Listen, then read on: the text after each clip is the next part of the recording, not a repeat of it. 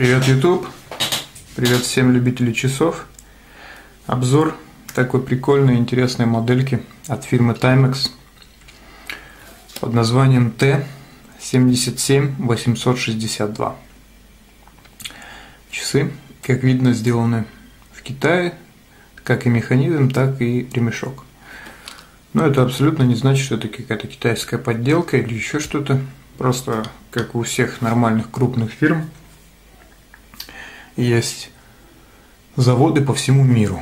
И ставить заводы в Китае – это абсолютно логичное и практичное решение, потому что в Китае рабочая сила очень дешевая.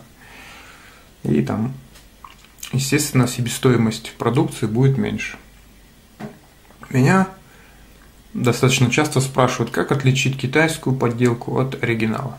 Ну, первонаперво у меня проблем с этим нет, потому что я заказываю всегда часы из Америки, из очень серьезных и авторитетных интернет-магазинов.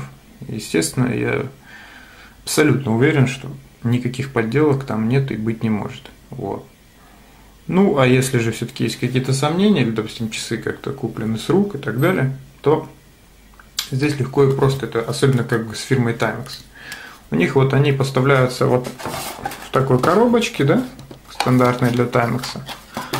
Они вот идут на таком постаментике. Внутри, где, если мы откроем постамент, находится паспорт инструкция.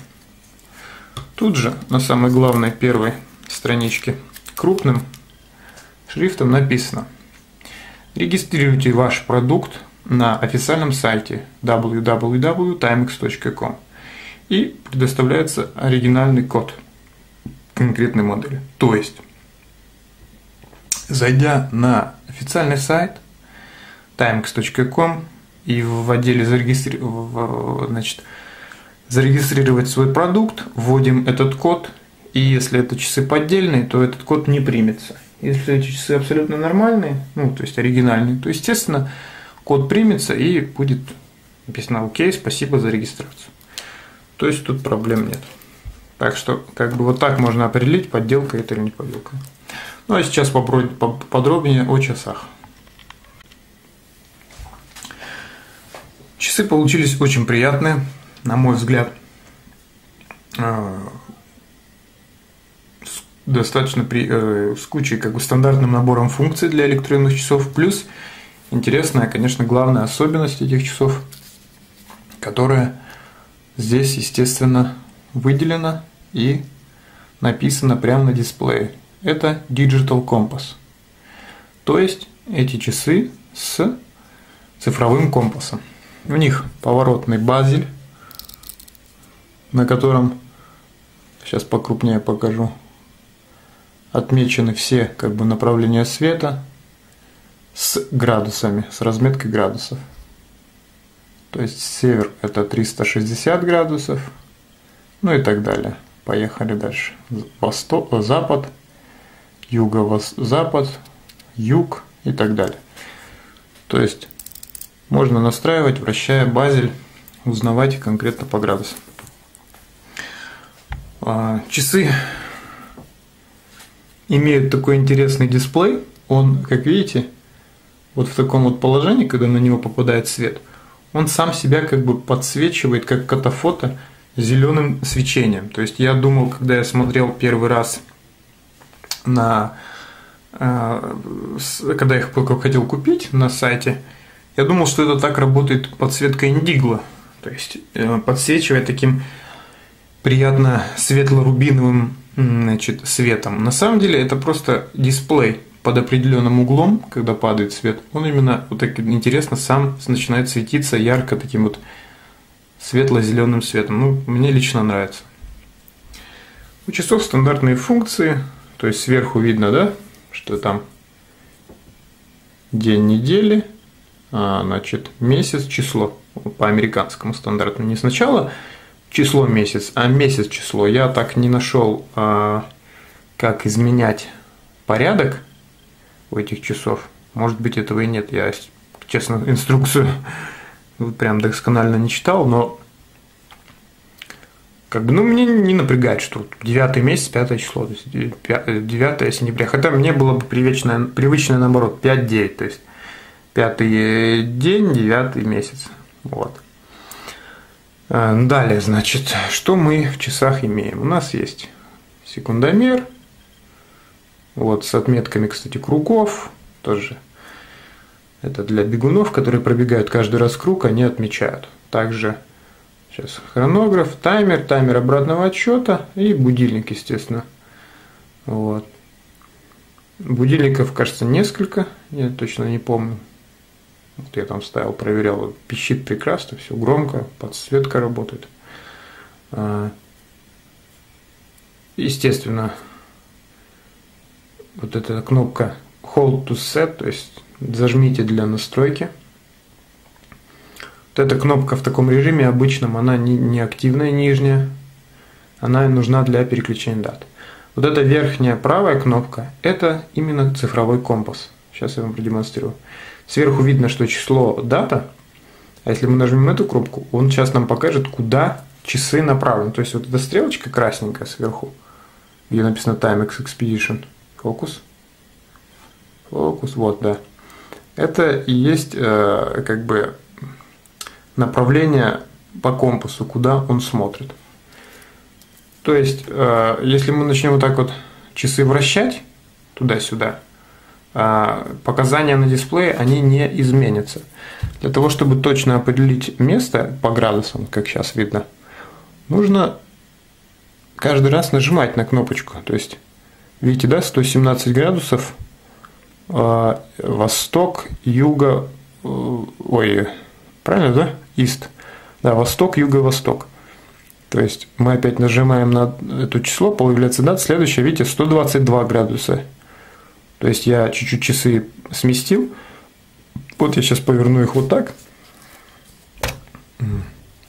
Обратите внимание, покажет юг, юго-запад, 213 градусов юг, юго-запад. Поворачиваем вот так вот. Опять нажимаем на эту кнопку, появится сейчас число. И смотрим, что покажет. Значит, North, Northwest. То есть это северо, северо-запад. 327 градусов. Поворачиваем так. Он должен, значит, по логике нам показывать на, на восток. Смотрим. 5 число, нажимаем, следующая кнопка. А, 6 градусов севера. Интересно. А, значит, это север. Все правильно. Восток вон там должен быть. Ист. Я должен на восток попасть. Вот. Вот восток. 90 градусов, кажется, восток должен быть.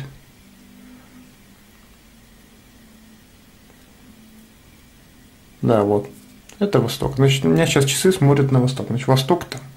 Все правильно. Вот. Часы очень интересны. А, как, а, когда часы приходят, там есть такая ситуация, что они, они же могут прийти что-то там, я не знаю, там с другого полушария, то есть с южного, а не северного, в котором мы живем. И вроде как компас может быть сбит, поэтому для того, чтобы настроить компас – нужно сделать вот такую вот нехитрую операцию. Сейчас попробую показать. Зажимаем вот эту кнопку, которая отвечает за переключение число на компас. Нажимаем и держим. И удерживаем, удерживаем, удерживаем. Видите? Hold to call. А теперь а, надпись. Rotate. Сейчас прочитаю. Rotate watch twice. Press mode when done. То есть поверните часы дважды, потом нажмите кнопку мод для того, чтобы закончить. То есть мы кладем часы и их поворачиваем.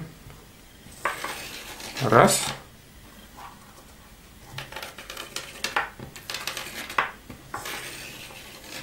Два. Потом нужно нажать кнопку мод. Кнопка мод находится нижняя левая. Нажимаем кнопку мод. Все, он просит какие-то ввести поправки. То есть 10 градусов восточной широты, я точно не помню, что это значит. 20. Ой. Что-то я нажал. 20 градусов. Вот. По идее компас вроде как настроен. Я не понял, что за переключение там.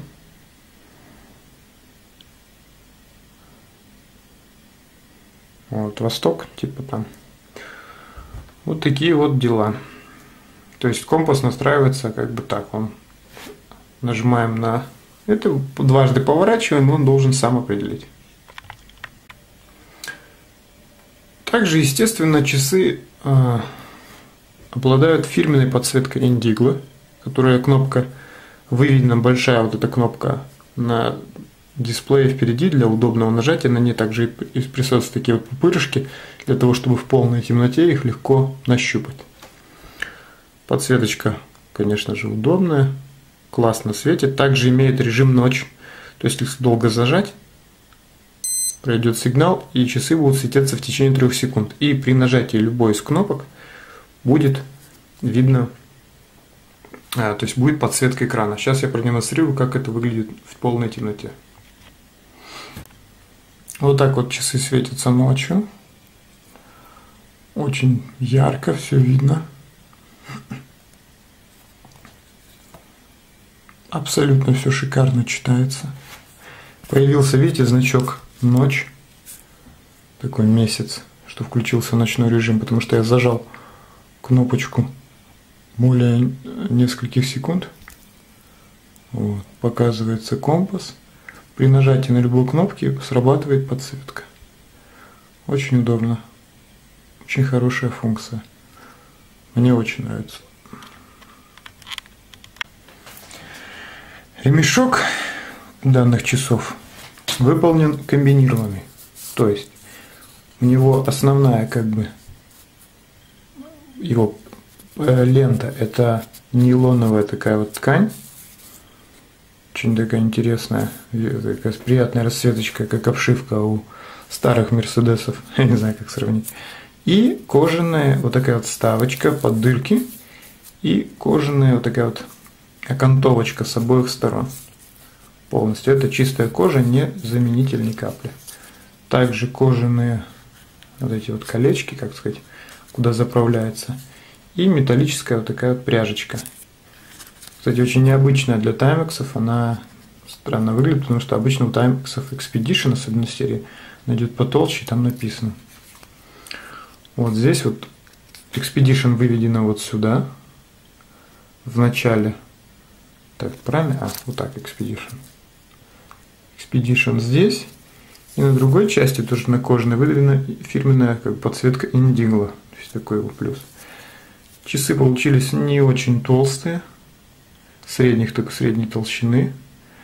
А, забыл сказать, что они водонепроницаемые, естественно. А, значит, водонепроницаемость. Фокус, да что ж такое?